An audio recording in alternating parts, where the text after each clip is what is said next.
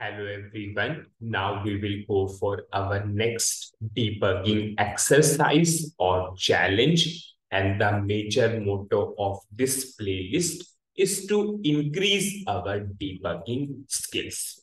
Now, in this case, we will take the example of standard transaction codes. In real projects, maximum time what is happening functional will come to you and tell that in this particular standard transaction code, I'm getting this error. So can you please debug and check from where this particular error is coming? Because as functional knows, yes, with the help of debugging, you can give the answer in a quicker manner why, why this particular error is coming. And yes, we can easily, easily find out with the help of debugging features why, why that particular error is coming.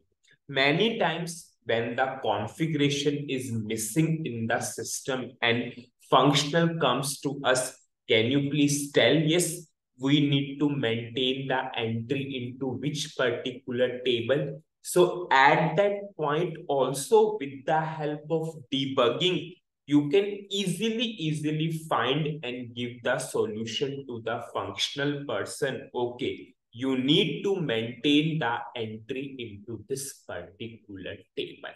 So what we will do, we will take a example and you will use this particular thing so many times to identify from where what is the position of that particular error from where that particular error is coming. Suppose I will go to MM01 transaction. We all know MM01, we can create a material. We provided industry sector, suppose industry sector pharmaceuticals, material type, suppose we took raw material. Suppose functional is creating the material through MM01 and functional choose basic data one. Functional provided the description and functional provided the unit of measurement kg. And functional is simply, simply going for the save. Whenever functional went for the save button, but functional is saying unit of measure kg is not allowed. Functional is getting this error. Yes, it might be the case someone did something for the practice purpose. Many times when ABAP persons or ABAP technical persons are doing the practice, they will write some code. They will do some enhancement but they forgot to remove that particular code. And because of that also functional also struggles some at at that point of time. So in that case or if functional is getting some error how we can tell functional that okay this is the particular thing which is missing in the system? So how we can reach up to that error whenever you are getting the error just double click on the error. Whenever you will double click on the error, you will get the technical information of that error. It's always, always a golden rule. Just double click on the error and get the technical information of the error. We all know whenever we are getting some message, what are the message parts? We have message number, message class, and we are getting error message. So it means error is message type. So we always has message type, message class, message number. If you know what is the transaction code for message class, we have SE91 transaction code. So we have always message class and message number. And yes, we can go for the type of the message depends upon the requirement. Type means error, information, success. Now, now we, when we double click onto this error message, it is giving us this information.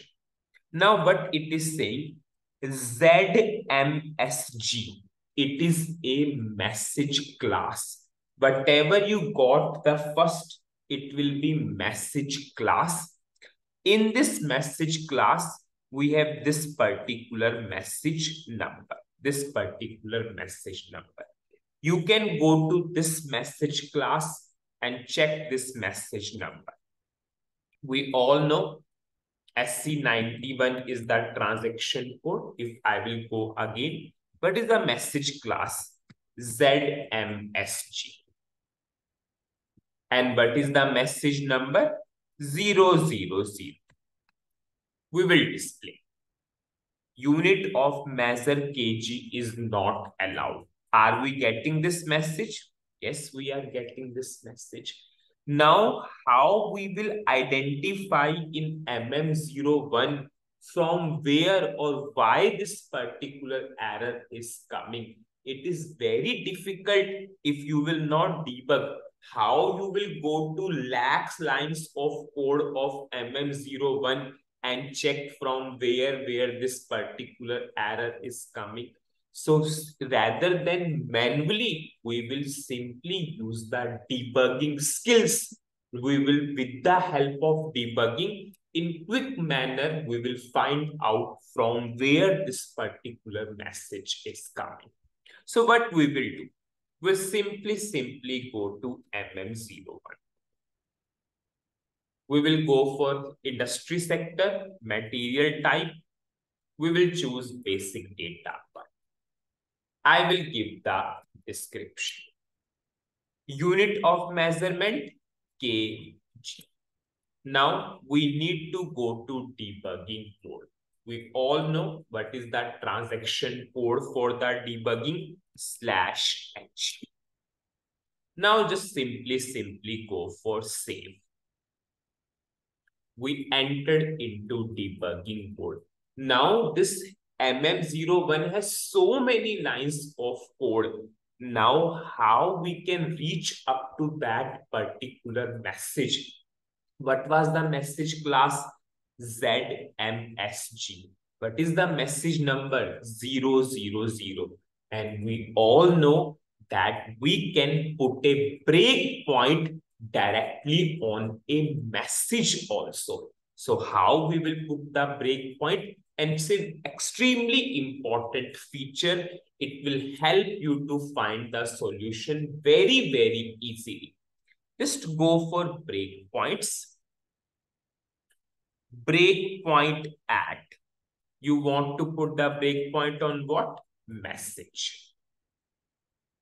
What is the message ID or message class? ZMSG but the message number 000. And what is the message type? We got error message. Press enter. And just do F8 and system will automatically stop there from where that particular error is coming. And have you seen? I directly stop there. From here, this particular error is coming. The logic is written. If unit of measurement is kg, we have written a logic to give the error. So we'll simply tell the functional person, someone written the logic. Yes, if you see this particular thing is a part of this Z class, Z class. It means we did the enhancement in SAP logic I told many times ABAP technical persons also do these kinds of things. They will do something from the learning perspective and because of that others will also face the issues at that point of time. From the learning perspective, yes, I implemented the body and because of that others are struggling. So for you, it's a quick action. It's a quick we can easily, easily find the solution. We can simply put a breakpoint on the particular message. And yes, we can go for the solution. So what we will do, I'll simply go for this class. This is the class and I will comment the code. I can go from here also. I will open the code in a new window. I will simply, simply go to change mode and I will comment this code. Because we have written this logic. This is our Z class. Now, if I will go to MM01, now the logic is commented. Now functional or whenever you will create the material using KG, now you can see no error is coming.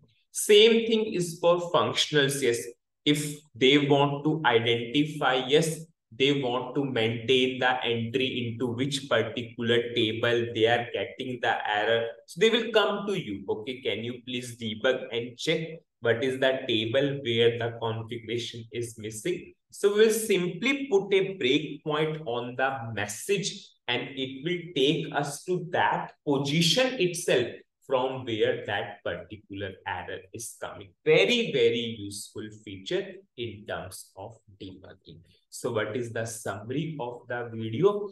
Whenever you are getting a particular message, so how you can identify that from where that particular message is coming? Firstly, check the message class and message number. Go to debugging mode and put a breakpoint on the that particular message class and message number. System will stop there and you will easily, easily identify that because of that reason, the error is coming. So that's all in this debugging challenge. Thank you.